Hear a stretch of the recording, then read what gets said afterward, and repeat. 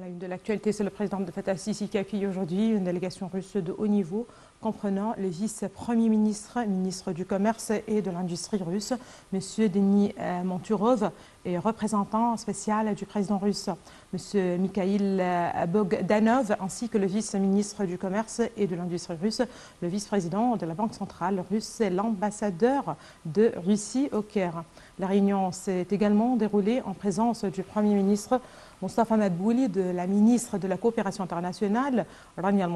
du ministre des Finances, Mohamed Maït, et du ministre du Commerce et de l'Industrie, l'ingénieur Ahmed Samir. Le porte-parole de la présidence, l'en conseiller Ahmed Fahmi, a déclaré que lors de la réunion, les deux parties ont tenu à renforcer les relations bilatérales étroites et de l'amitié historique entre les deux peuples égyptiens russes. Les relations économiques égypto-russes ont été également examinées dans le cadre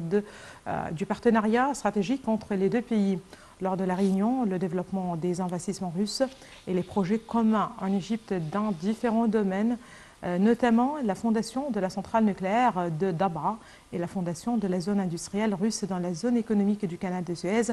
ont été examinés.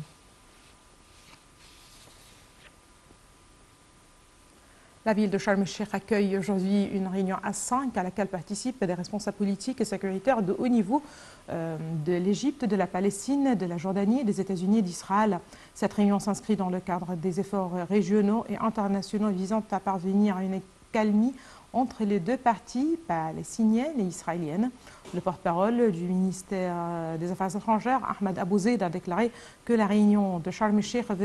compléter les discussions qui avaient eu lieu à Aqaba en Jordanie le 26 février dernier avec pour objectif le soutien du dialogue entre Palestiniens et Israéliens pour stopper toutes les mesures unilatérales qui étaient à la base de l'escalade de la violence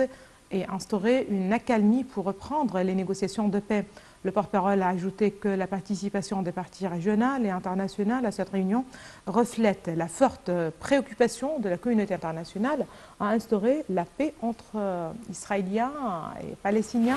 en établissant un mécanisme pour suivre et activer les recommandations émises au terme de ces réunions.